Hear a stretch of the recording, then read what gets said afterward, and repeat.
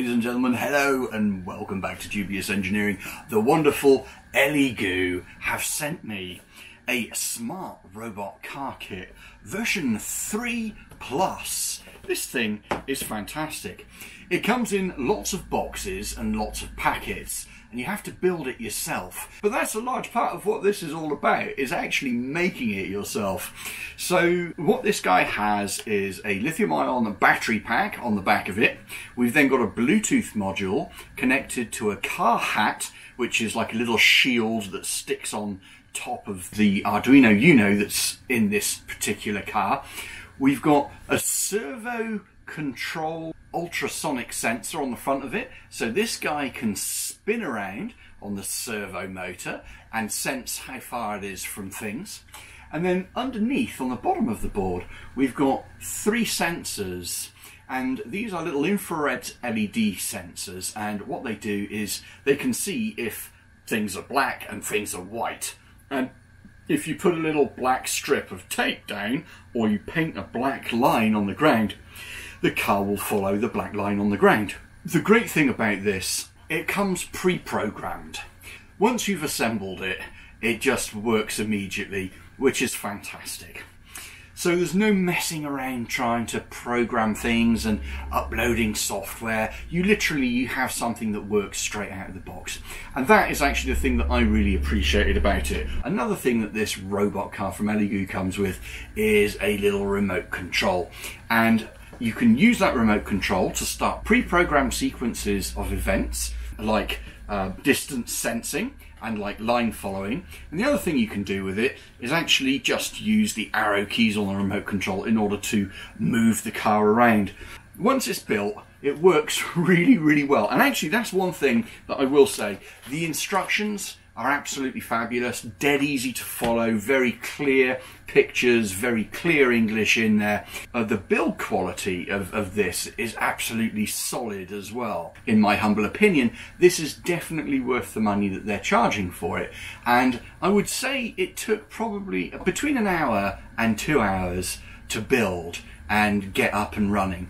And that actually, you know, if you're doing this with your kids or something like that to sort of teach them a little bit about electronics and robotics and Arduino and coding and that kind of stuff, in my opinion, this is a real game changer for educating young people or maybe even yourself on how to go ahead and wire things up, uh, how things work, and the mechanical assembly of all of this. The other thing, this comes with its own tools as well.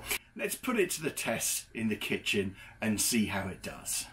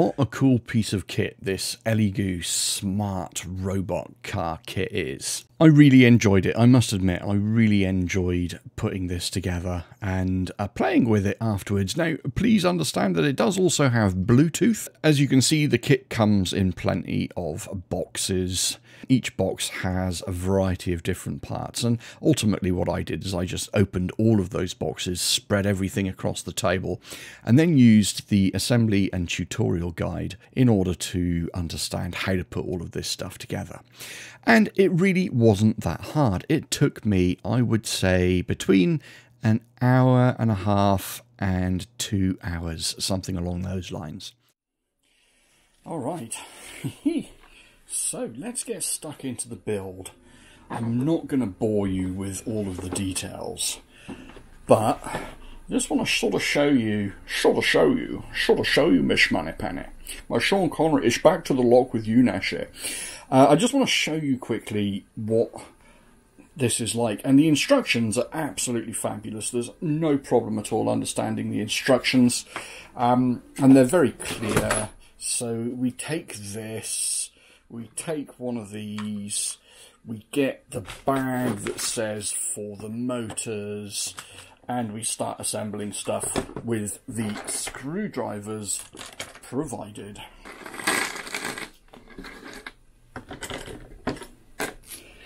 So it takes just a few seconds to get yourself oriented and make sure you're doing things the right way around.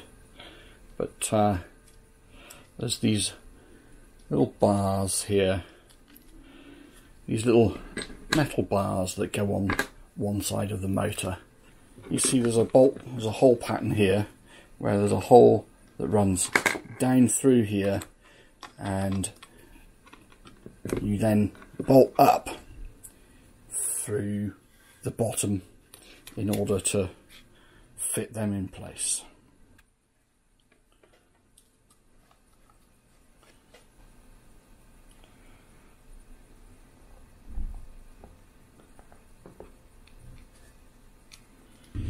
All the motors fitted and all the cables come back on the inside here like that Okay, so according to the instructions, the next part of the mission, we're going to be fitting this, which is the L298N, which will be an H-bridge driver, a PWM H-bridge driver for the motors. And uh, apparently we need to open this bag, which is a 2 for UNO L298N. Everything's really well marked up. So this guy has some little spacers here which go underneath.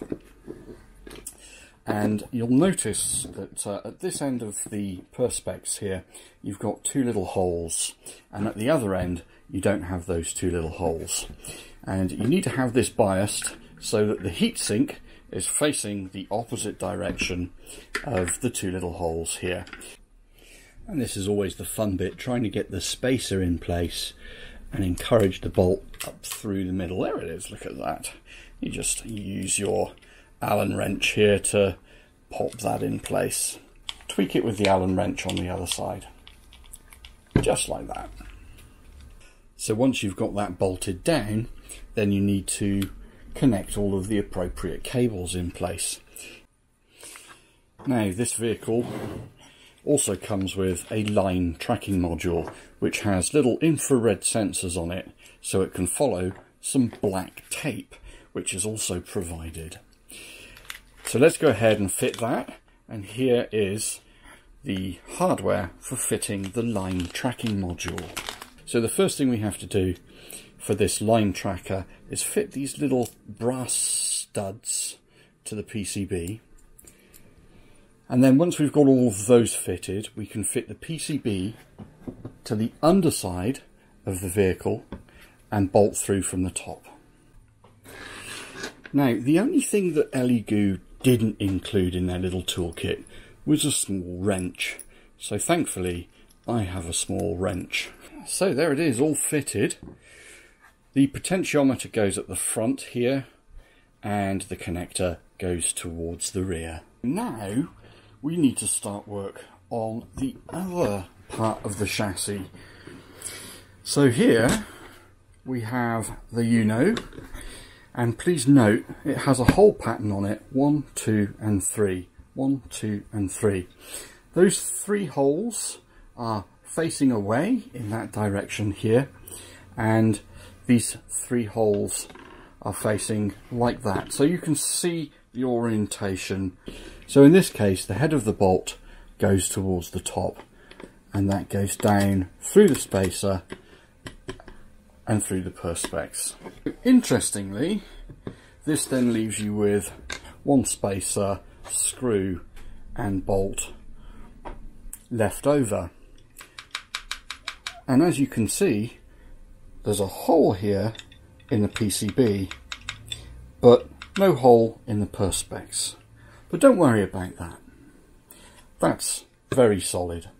Now we get to fit the shield. And this is the Elegoo car shield PCB. And this PCB is fitted in this orientation.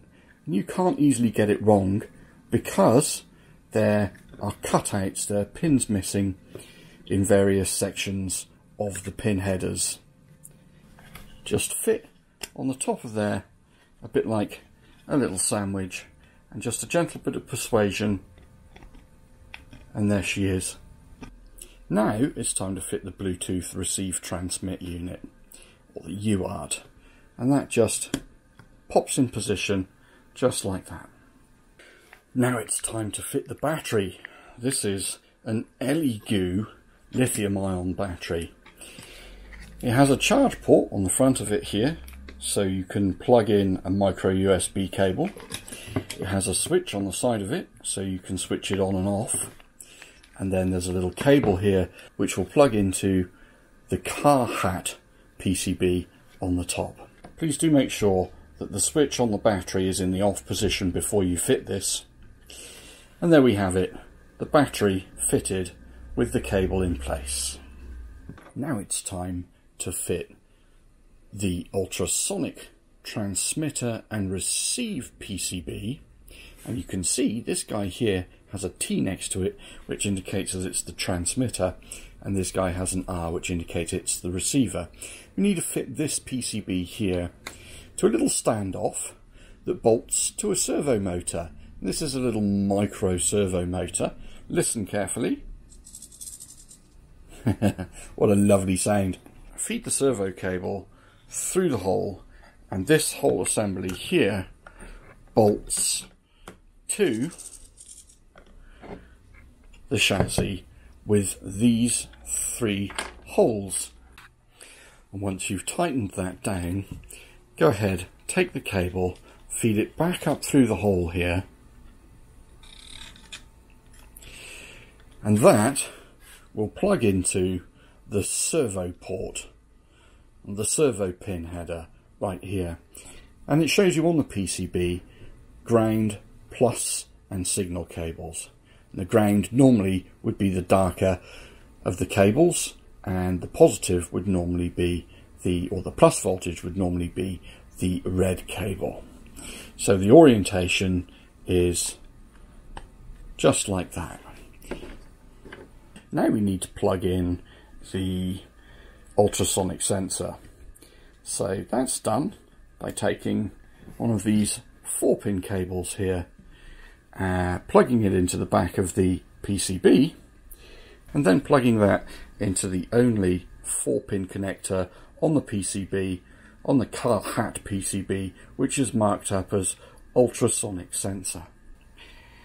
Now we need to install the brass standoffs and create the car sandwich out of the lower motor board and the upper sensor and controller board.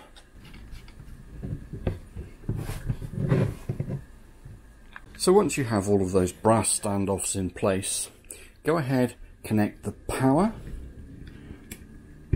the two pin power cable, and also the six pin servo drive cable. Once you've done that, then go ahead and present your control and sensor board.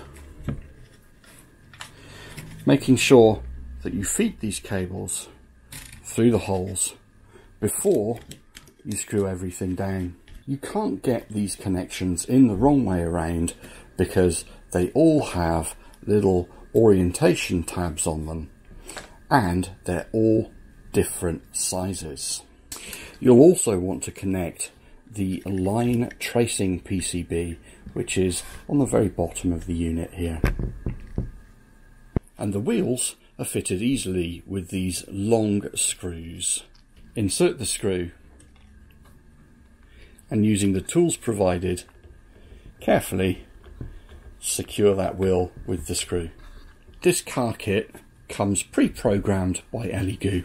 When you turn on the power supply, lights flash and the ultrasonic sensor stands to attention. So we can see three LEDs that are lit or not lit under here depending on what the sensors are reading. We can see a green LED on the Arduino and we can see a red LED on the car hat PCB showing that everything is turned on and ready to go. Next thing to do is to remove this little piece of plastic here from the Elegoo control handset. This should then enable the battery. Let's see what happens if we ask the car to move.